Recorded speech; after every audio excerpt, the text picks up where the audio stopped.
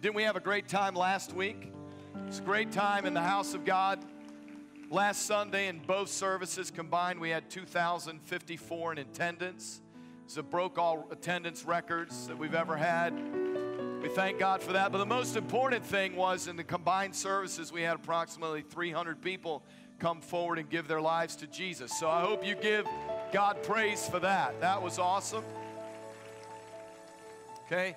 People beginning their journey. By the way, let me just share with you, I failed to do this at 9 o'clock, but um, tomorrow at 12 noon, I'll be doing a live Bible study on Facebook. Go to the church's Life Source Church's Facebook page, like the page, and then tune in with us. I'll be doing a live Bible study from here, from this campus, as I share with you the word of the Lord. And then it's done at 12 o'clock. It goes about 20 minutes, 30 minutes max. And then we upload it. So if you happen to miss the lunchtime Bible study at 12 noon live, that you can pick it up later. And make sure that you share that with your friends. Just, just get it out there.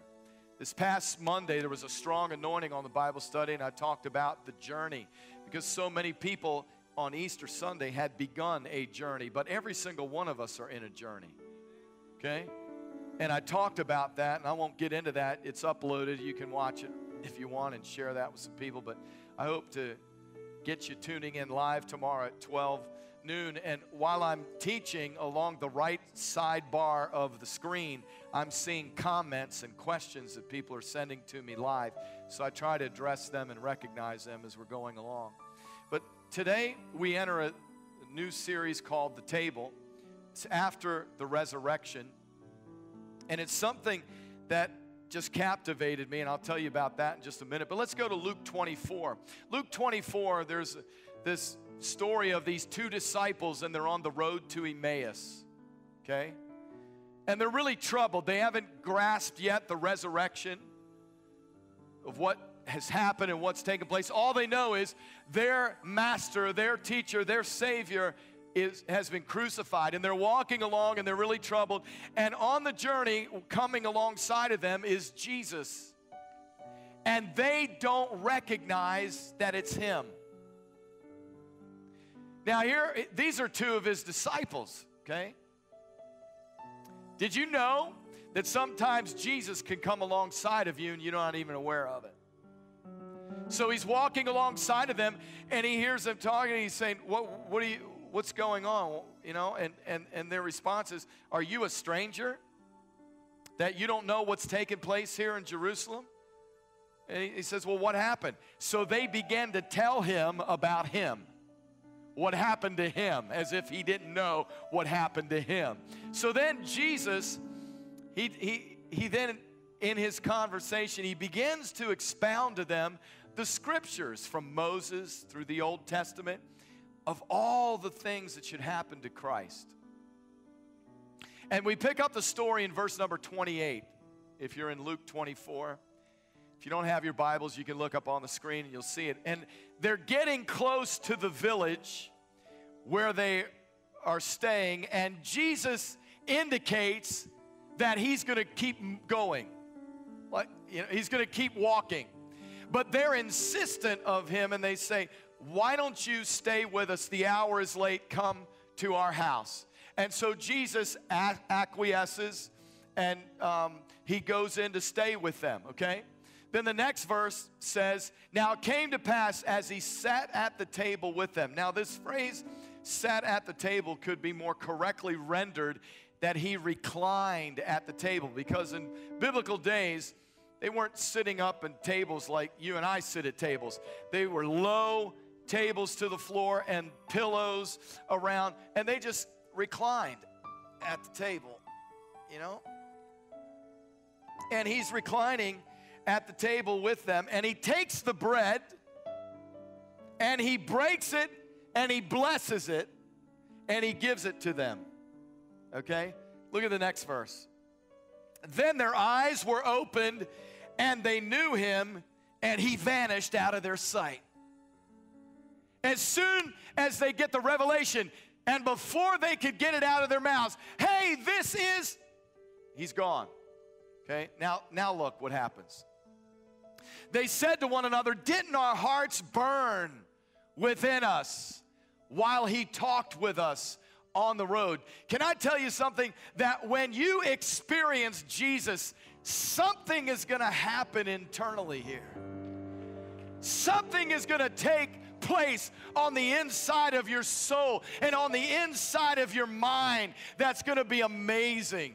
You'll have feelings that you hadn't felt before. And it happened while he opened the scriptures to them. Now, watch this. Look at the next.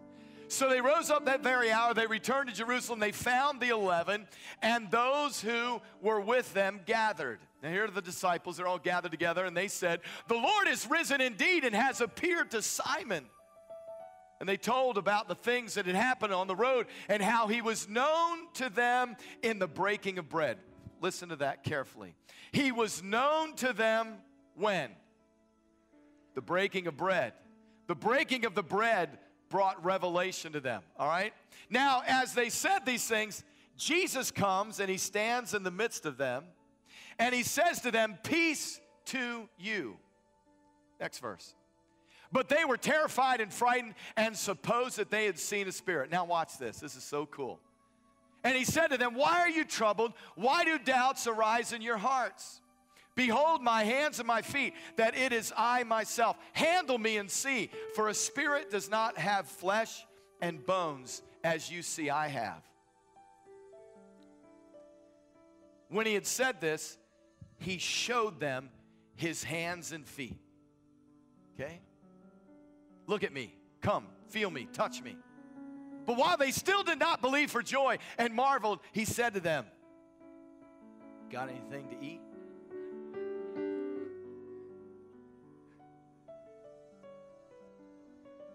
Any food around here?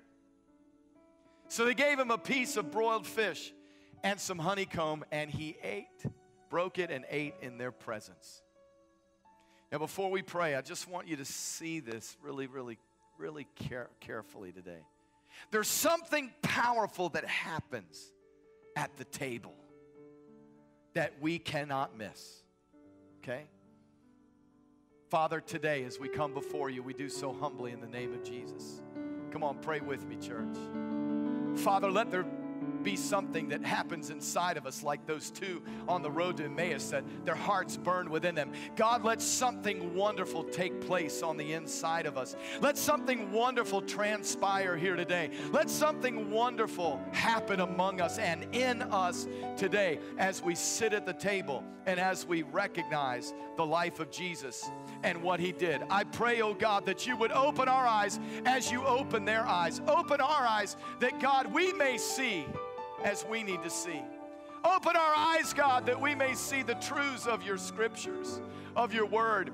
And God, I pray that above everything else, Jesus Christ would be lifted high. Jesus Christ would be exalted. Jesus Christ would be magnified. For it's in his precious holy name that we pray. And let everybody say, Amen. Amen. God bless you. You may be seated. So, here in the breaking of bread, their eyes are open, right? Breaking of bread, their eyes are open. And then Jesus comes to the disciples and he shows them everything. Hands, show, see, it's me. I'm the one talking. See, look, it's me. And then he asks them, Do you have any food here? It's time to eat. It's time to break bread. Now, why did Jesus do that? I would submit to you that Jesus is wanting wants the disciples to see something supernatural happens at the table. It happened when he broke bread with the two on the road to Emmaus, right? When they got to the house and they reclined. Something supernatural took place, right? Something supernatural happened when we just prayed, right? These tables appeared behind me that weren't here before. Wow, what an amazing thing. Now, let me tell you about the inspiration for this for this message, okay? A couple of years ago, I was at a conference called Synergy. It was in Orlando, Florida. Pastor Josh and Lauren were with my wife and me. And at the conference, there was a gentleman who spoke. His name was Leonard Sweet. Anybody ever heard of Leonard Sweet?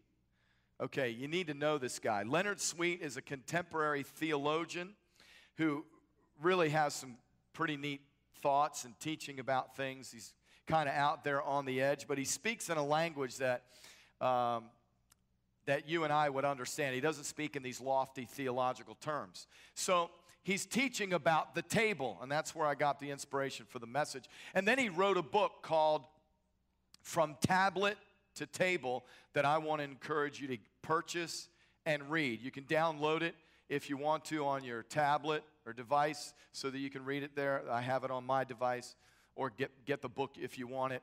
But his premise for this teaching on the table that I want to share with you today, and that comes from his book, is simply this that in the very beginning of creation, okay, in Genesis chapter 2, verse number 16, some of the first words out of God's mouth are these eat freely.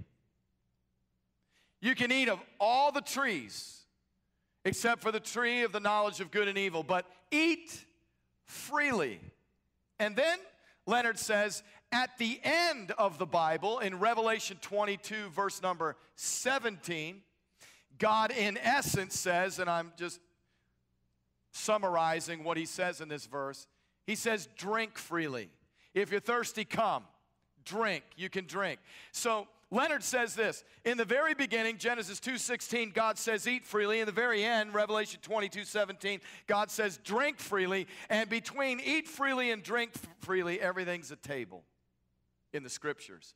Now, in the weeks to come, I'm going to show you through the scriptures what the Bible has to say about the table, and you will be amazed, amazed at what the scriptures say concerning the table. Okay? But let, let it suffice to say, let me to, just to say this to you. We in the Western culture and Western world have lost the dynamics and the essence of the table. You know, when I grew up, I grew up in a nuclear family. What does that mean? We were ready to explode? No. What that means is that it was a normal, quote unquote, father, mother, children, right? Doesn't get any plainer than that, okay? And so in my house, my dad went to work, my mom was stay at home, okay? So when I got up in the morning, I would go downstairs and my mom, she'd have cream of wheat you know, some of you don't even know what cream of wheat is. Cream of what? Cream of wheat and you know, or she'd have some pancakes or she'd have some French toast or she'd have something for me for breakfast, right? And she made my lunch and then I'd carry my lunch to school, okay? And then when I'd come home, you know, I'd go out to play, I'd ride my bike, do whatever outside, and then when my dad got home from work, we all sat down at the table and had dinner. That was a regular occurrence. I don't even remember going out to eat at a restaurant as a kid. I don't ever remember that. We always ate together as a family. But then, you know, I grew up in that culture that kind of changed and shifted, right? And to where now families are fractured and things are all over the place and people have schedules and busy and they're going running here and running to do that so so the the table is like a drive-through thing that's why we have fast food right fast food fast food fast fat food for you to drive through them to throw your meal out into your car and you to just consume it while you're on the road having no table time with anyone. As a matter of fact, it is said, statistics, and I've got a ton of them that I'll be sharing with you in weeks to come, but the one I want to share with you this morning is that on average, the average time spent at the table for a meal in America is 12 minutes. 12 minutes because it's not about the experience. We in the Western world have lost the experience of the meal. You know, one of the, uh, ex- uh, a, a, great trip that I had one time with some friends um, is going to Italy. And I remember when we, we were visiting certain towns, they would have these large piazzas, not pizzas, piazzas. The pizzas are pretty huge too. But these big open squares where people gather together and usually restaurants are lined around. And people in that culture they would just come out and they would sit there for 2 hours just soaking up the sun eating outside and enjoying one another's presence engaging in conversation. But my goal in sharing with you this message today and the messages in the weeks to come is to get us to reclaim the table here in the West, at least here at Life Source International Church, for you to see the value of it from a scriptural standpoint, but then also, hopefully, through some teaching and talking, a sociological standpoint as well. The need for us to spend time with one another at the table. Now, today I'm going to just simply focus on the life of Jesus. And we're going to see that there were five tables in his ministry. There are others, but I'm going to focus on these five real quickly with you for you to understand the importance of the table in the life of Jesus. Now, before I do that, let me just talk about Jesus as a person for a moment, okay? Because just like Leonard Sweet says, the beginning of Scripture, Genesis 2, and the end of Scripture, Revelation 22 is about eat freely, drink freely, and everything a table in between. The very beginning of the life of Jesus is a table, and the very end of it is a table, and everything in, in the middle is a table as well, okay? And I'll prove it to you. I just proved it to you at the very end because after he was resurrected, right? And it, he talks about the table, okay? Next week, I'm going to share with you another scripture out of out of John 21 that'll show it even again, okay, post resurrection. When I first came to the Lord, many of you know I wasn't brought up in church, never attended a church service till I was a young man, didn't know anything about church. But when I first came, they used to sing an old song uh, in, in church called Come and Dine. Does anybody know that song? Okay. How many of you don't know that song? Look at you. Look around at all the deprived people here the sanctuary today. Come and dine. It's a great song. Okay? Kind of goes like this Jesus has a table spread where the saints of God are fed. He invites his chosen people, come and dine. With his manna he doth feed and supplies our every need. Oh, tis sweet to sup with Jesus all the time. Chorus, come and dine, the Master calleth, come and dine. You may feast at Jesus' table all the time. He who fed the multitude turned the water into wine. To the hungry calleth now, come and dine. Come back next week for verse number two and the chorus again, okay? And you'll get the rest of that. But the song has some really deep meaning concerning the table, right? Come and dine. The master calls, come and dine. You may feast at Jesus' table all the time, right? All the time. So here, Jesus comes to this earth. We read in John chapter 6, beginning at verse number 32, right? Jesus says to the crowd, who's gathered there, John 6 32. He says to them, For surely I say to you, Moses did not give you the bread from heaven, but my Father gives you the true bread from heaven, right? And who's he speaking of, right? The true bread that comes down from heaven and gives life to the world. Now, the people respond. They say, Lord, give us this bread always. And Jesus responds to that and says, I am the bread of life. He who comes to me will not hunger, and he who believes in me will not thirst. I want, I want you to focus on the phrase that Jesus said I am the bread of life. He's the bread of life. And I want to tell you something, folks. This world is hungry. This world is thirsty. You can see it because they try to do everything they can in this world to get satisfied, but they never get satisfied. They tried drugs, they try alcohol, they tried sex, they try amusement, they try to get wealthy, they try everything that they can in this world, and it always leaves them not satisfied. Jesus is the bread of life who satisfies every being who will come to him and receive him. He said, I am the bread of life. Now, when Jesus was born, we read it in Luke chapter 2, he was born in the city of what? Where was he born, folks? No, not New York. He was born in Bethlehem. Jesus was born in Bethlehem, okay? And because there was no local hotel that had any openings in Bethlehem, the only place he could go to and his family could go to was a barn. And Mary gave birth to Jesus in a barn. And when Jesus was born, they didn't have any place to put him, so they laid him in a what? Manger. Now, the word manger in the original language means feeding trough.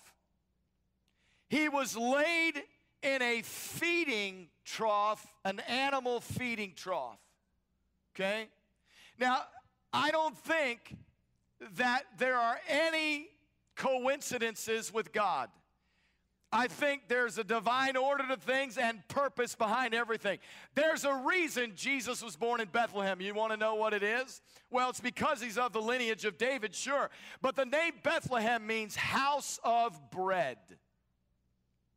And Jesus is laid in a feeding trough symbolizing that he would feed not only his family who was gathered in the barn, not only the shepherds who came to announce his birth, not only the wise men who came from the east, but Jesus would be the bread of heaven that would feed every hungry soul and every hungry life in this entire world.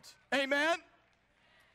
Jesus came to be broken, to be so he could feed the world. And I'm here to say to you today, just like Jesus did in the Gospel of John, chapter 7, are you hungry? Then come and eat of the Master. Are you thirsty? Then come and drink of the water of life freely, and you'll never thirst again. In other words, you'll be fully satisfied. Fully satisfied. And this is why Jesus came. Now we look at the ministry of Jesus. There are five tables. They're represented up here. The first table that we come to in the life of Jesus, it is the table of acceptance. The table of acceptance. And it's found in Matthew chapter 9, verses 10 to 13. We find Jesus in, in that passage of scripture reclining at a table. And the Bible says that many tax collectors and sinners were gathered to him. And the Pharisees, though, they asked him, they asked his disciples, said, Why is it that your teacher eats with tax collectors and sinners? And Jesus heard them say that, okay? He heard him say, ask that question. And he said to them, those who are well don't need a physician, except those who are sick. He said, But go and learn what this means. I desire mercy and not sacrifice. Now, why did Jesus say that? Because the Pharisees, the religious leaders, they were all about sacrifices, sacrifices, sacrifices, and they were very, very low on justice and mercy. Okay? And then Jesus went on to say after that, he said, I have not come to call the righteous, but sinners to repentance. Now, understand the ministry and the mission of Jesus. Here he is reclined at a table, and who's around him at the table? Sinners, tax collectors, the undesirable of society. Why? Because with Jesus, his table was a table of acceptance. He accepted people who they were. They could come and eat with the master. They didn't have to stand in line outside. They could come and sit down and recline at the table with him, and Jesus received them all. Come, come as you are. Come. Come, no matter what your background. Come, no matter what your sins are. Come, no matter how you've dishonored or disobeyed God. Come, sit down and eat with me. It was a table of acceptance. And I just want to say to you, church of the living God today. May you and I provide tables of acceptance to the world. May we provide tables of acceptance for people to come and eat. Okay, I know what some of you religious people are saying who know the Bible. You say, well, what about that guy in First Corinthians that Paul said you shouldn't eat with? You know, the difference is this. The reason Paul said don't eat with that guy is because he was a professing brother. He was professing Christianity. He was professing to be a believer, but he was sleeping with his father's wife. He said, There's, That's not even done among the heathen and the pagans out there. So he said, Don't even eat with that so called brother as a sign of discipline from the church. So what did they do? They really slammed this guy, man. You go read Second Corinthians and Paul comes back and says, look, look, okay, enough is enough. You know, the guy's repentant, he's come back. That was the whole idea, right? So don't think that because Paul said in First Corinthians, don't eat with this guy because not, not because he was sinner, but he, because he was a brother who was unrepentant of his sins. Jesus is saying, break bread with the world. Break bread with sinners. Sit down at the table, church of the living God. Sit down and have a meal with those that are the unlikelies, those that are that w- that the religious people would snub their nose at, those, those who are the unlikelies of, of, of society, right? Amen? I don't know about you, but before I got saved, I don't know too many people that had me for dinner. But thank God Jesus has a table of acceptance, and so should we. The next table that we read about is in Matthew chapter 26, verses 6 and 7. It's the table of anointing. There's a woman who comes to Jesus, and wh- wh- where is Jesus? The Bible says he's reclining at a home. He's at the table again. And while he's at the table, a woman comes in who breaks open a flat, an alabaster flask of oil and pours it on him, in which Jesus said, Listen, what this woman is doing is preparing me, preparing me for my burial. She is anointing my body for burial. And I just want to say to you listen, folks, Jesus' table is a table of anointing. What happens to the master flows on his guests. If you will sit at the table with the master, you will receive of his anointing. That's why you and I shouldn't be too quick at the table.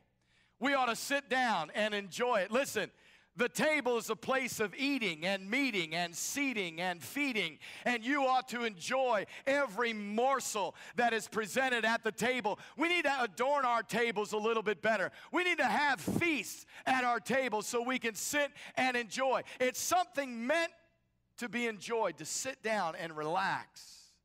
That's why I love the biblical picture of reclining at the table. It's getting in a relaxed posture, not to just hurry up and some people are even standing up and eating.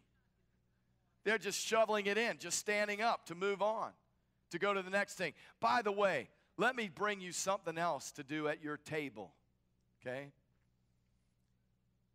And I'm tempted with this when I'm sitting at the table, I've got my phone, I'm getting text messages, and I'm checking things out.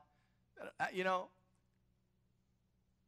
I want to have a rule at the table where I sit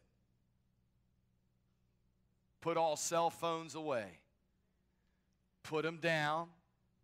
There's a time for everything, and that's not the time. If you're that important, you must be the President of the United States. You are way too important. Okay?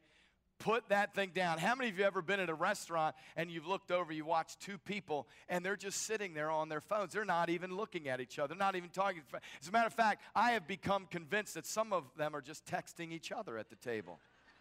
They're not even, they're not even talking, they're not even communicating. Okay? And that seems to be going on the whole time, right?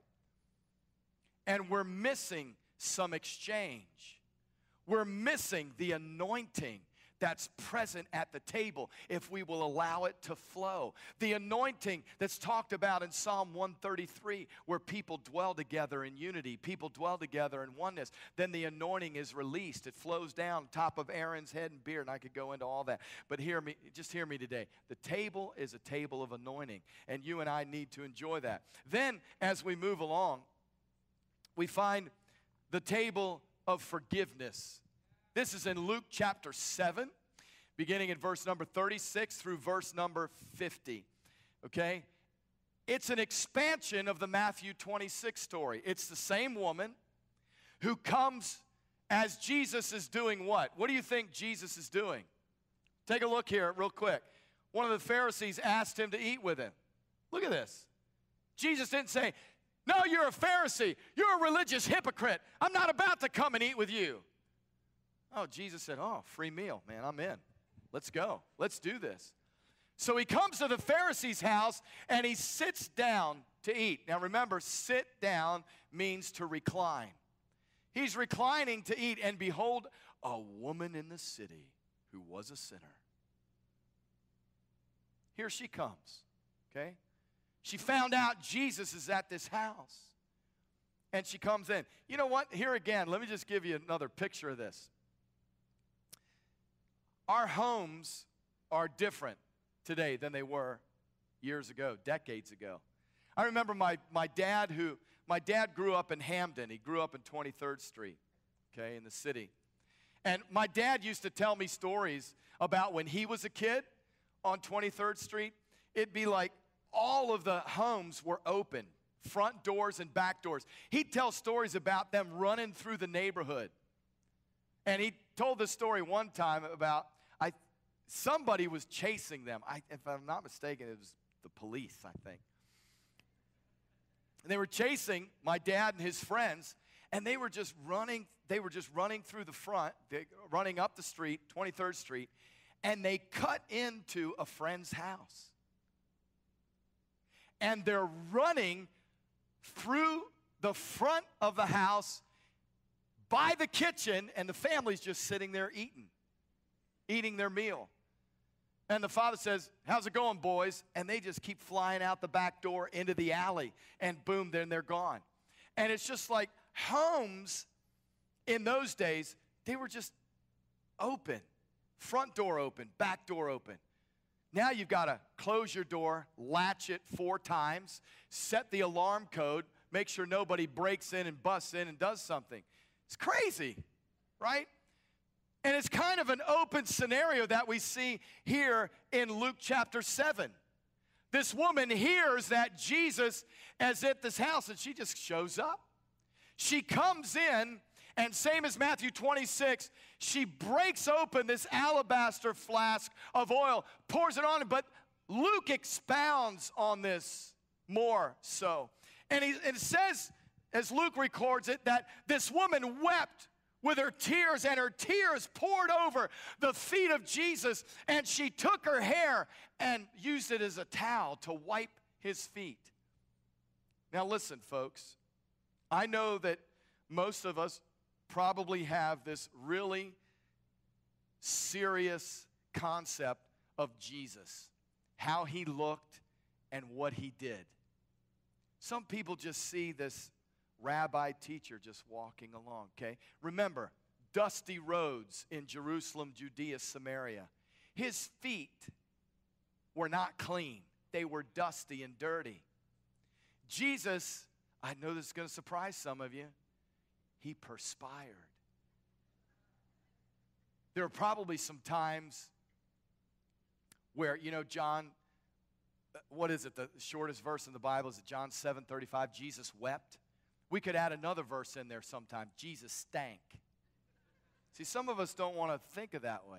Some of us don't want to think about Jesus where he goes, like he comes to the, after the resurrection, he comes to, his, comes to his disciples says, Hey, got any food here? Let's eat. But this is Jesus. And his feet were not clean. And when those tears came down upon Jesus' feet, it cleaned off the dirt and the dust that he had collected as he was walking along. And the woman's hair was used as a towel that probably got really dirty and had mud on it after she wiped all that stuff off of his feet. And the people who were around, they were amazed. They couldn't believe that Jesus was allowing this woman to do this to him. So he says to the to the owner of the house, the host, because he knows that this Pharisee's got an issue with what's going on. He says, Simon, let me ask you something. You know, when I came into your house, how come you didn't wash my feet? I'm a guest here.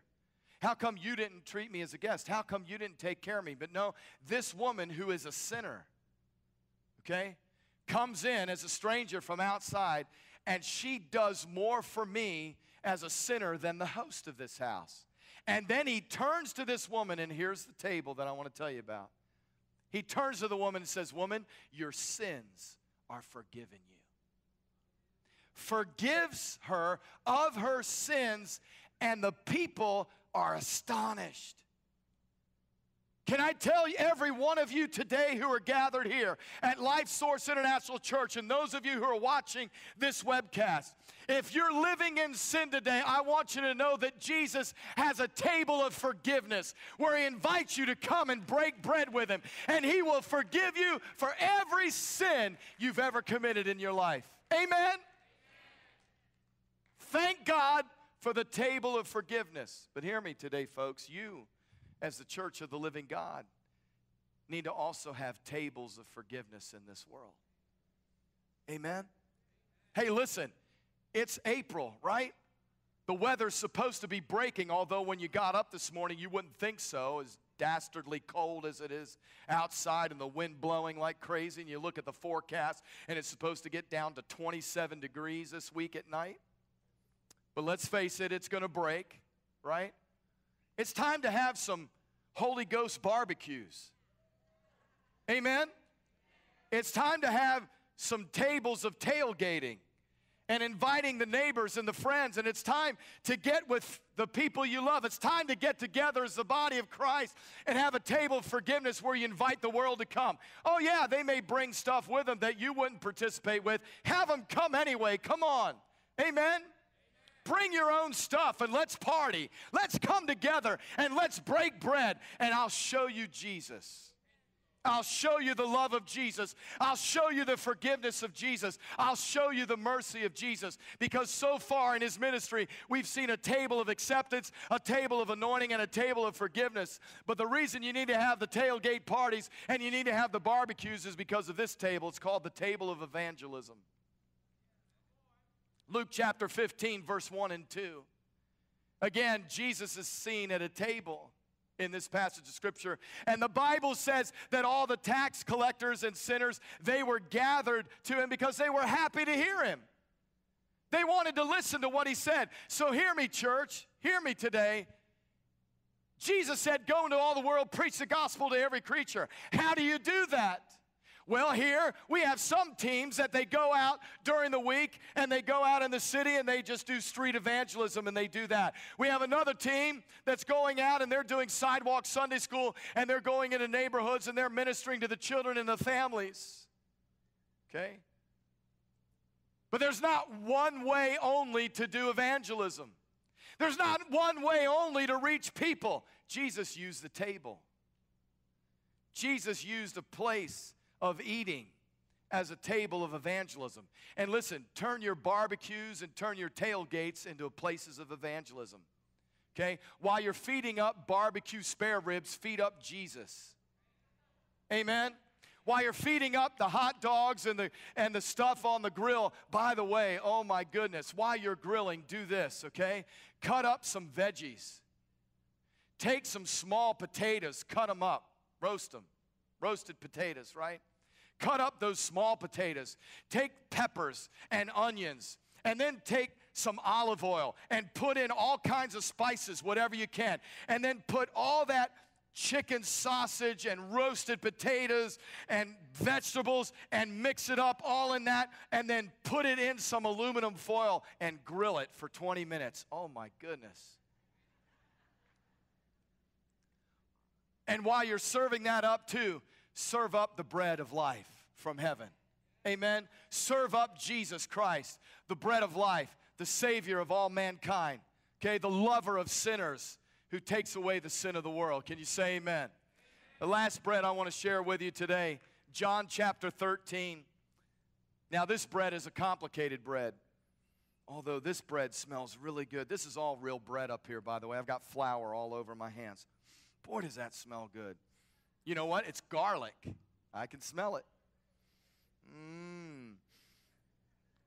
Oh, makes me want to break it open right now. This bread is complicated because in John 13, we have the bread of teaching and discipleship, we have the bread of serving, but we also have the bread of treachery. John 13, verses 1 through 4. Jesus is with his disciples. It's called the Last Supper. Different from what we do. You know, what we do here is we've got a cup and we got a wafer. How many of you know that it's different back then? Okay? As a matter of fact, Leonard Sweet, when he talks about the Passover, remember, he's a contemporary theologian. He says that when Jesus said, Do this in remembrance of me, he said the this that Jesus was talking about was not the communion itself, but was the table. Do the table in remembrance of me. Every time you're at the table, let the bread represent my body. Let the drink represent my blood. Let every table experience be done in remembrance of me. Amen? I like that. As a matter of fact, every table you should offer prayer. If you're having a tailgate party with sinners, if you're having a barbecue with the world, why don't you stop and say, hey, just for a minute, we're going to pray. And just pray. Listen, I've had lunches, I've had dinners with people, business people, people who were lost, people who were in sin, but I still prayed. Why? Because I'm going to honor God. I'm going to thank Him for the food that He's prepared for me. I'm going to thank Him that He's given me some sustenance. And while I'm at it, I'm going to pray, Lord, let Jesus be seated at this table with us. Amen. See, when you pray, you invite heaven to visit. Let heaven visit your tables. So here's Jesus. He's reclining with his disciples. And the Bible says, after supper, he gets up, takes his garments aside, and he begins to what? He, he, what does he do? He washes the disciples' feet. He's giving them a lesson about serving at the table. And I would, I would put this out to you that when we talk about Jesus being the bread of life and Him coming to the end of His ministry, the most important lesson that He would leave His disciples with would be the last one at the Last Supper. And it's a lesson don't forget to serve. Don't forget to serve. Okay? So, after he does that, you go down to John 13, verse number 12. Then Jesus comes back to recline at the table with his disciple. And He says, Do you know what I've done to you? And then he takes the table experience and he utilizes it as a moment for teaching and discipling and mentoring.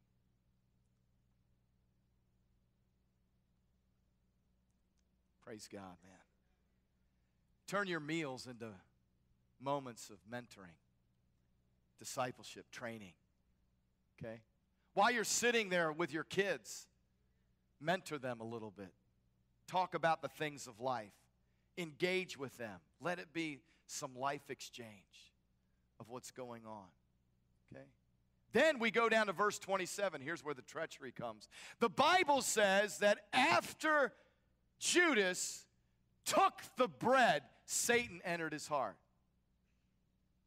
You know what that tells me about the bread? What it tells me about the table? That the table is a place for openness and transparency. And whatever you open yourself up to is what's going to enter you. Okay? When you sit at a table and you're not in a hurry and you're ready to do life together, there's some great things that can enter you.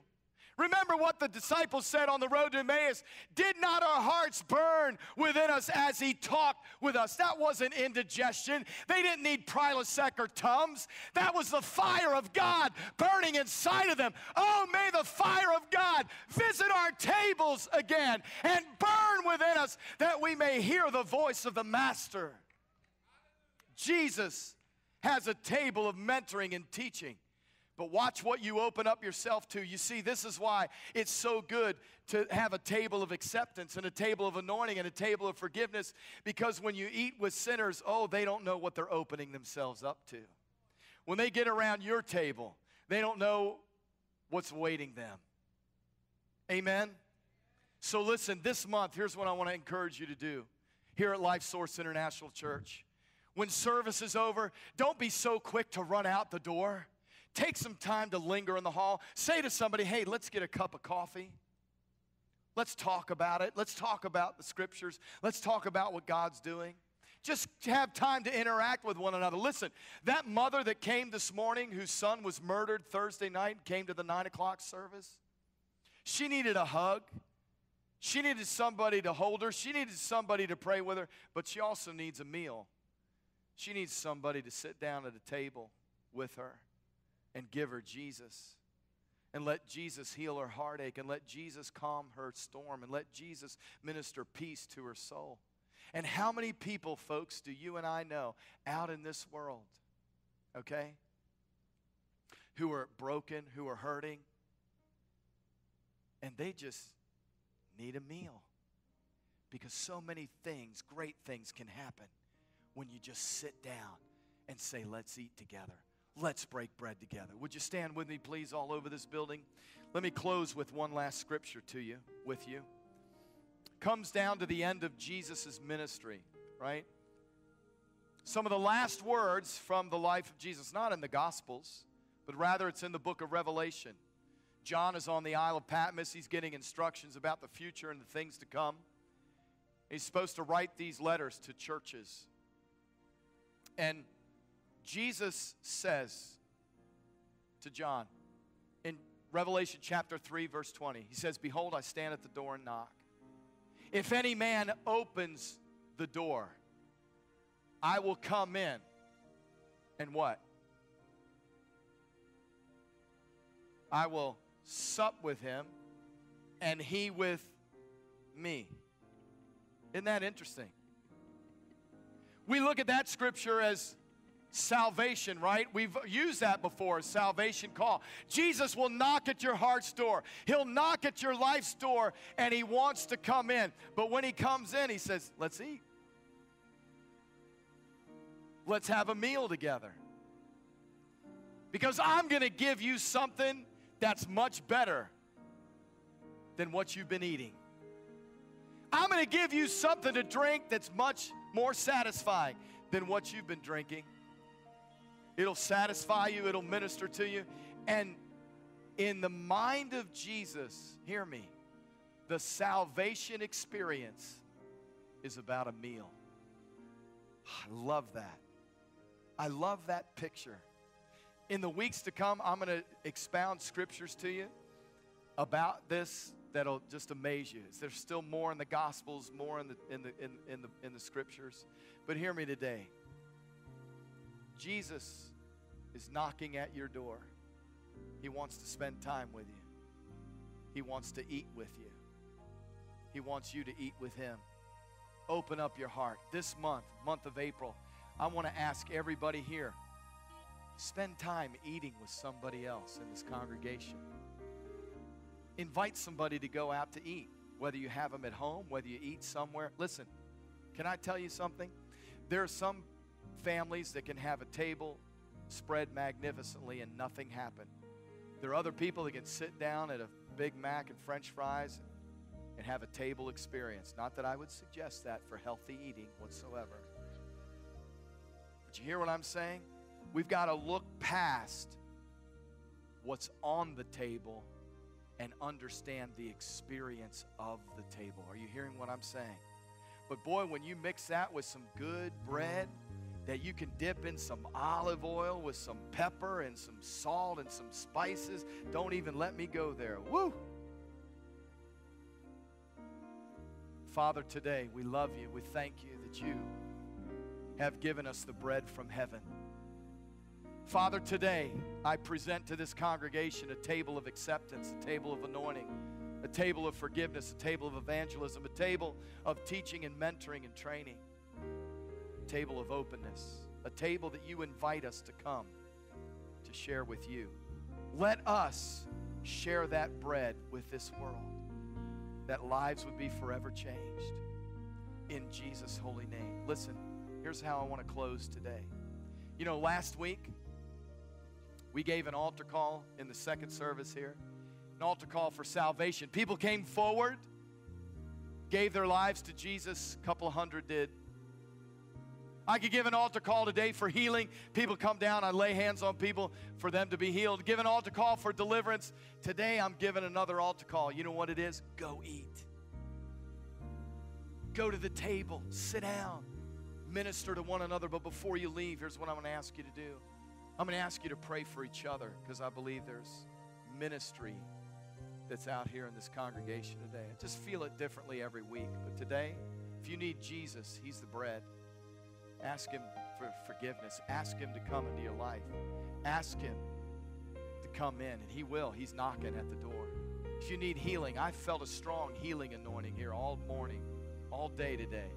The Lord can heal you today in this service. Those of you watching the webcast, join us in prayer. But I want to ask you to turn around in groups of three or four, no more than five. Just and this is going to be the close today. I want you to pray for each other. But before you pray, watch this. See, we're so quick to just join hands and start praying. But somebody asked the question, what can we pray for? Okay. What can we pray for? Because there are needs out here today.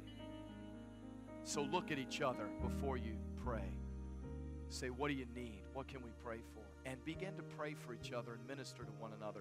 When you're finished praying, service is over for you. Then you can go out. But when you go out, spend some time with each other, okay? May God bless you. I hope to see you tomorrow night from 7 to 8 here for prayer. Pray for each other before you go. Do that, okay? Right now, turn. God bless you. Thank you, Jesus.